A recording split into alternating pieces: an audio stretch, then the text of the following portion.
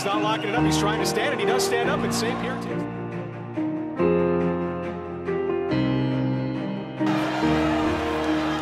to work its way up.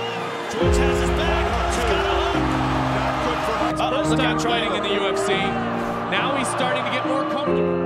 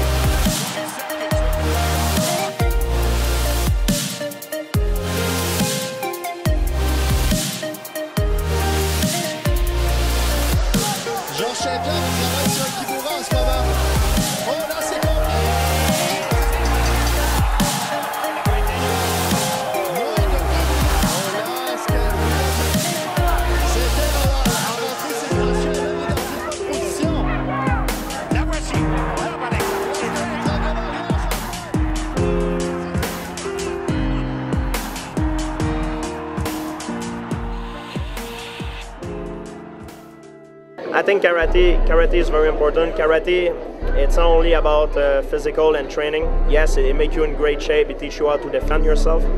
But karate, it's a lot more than this. Uh, karate, it's also in life. It's how you treat people. Uh, it's about respect. It's about hard work, it, uh, work ethic.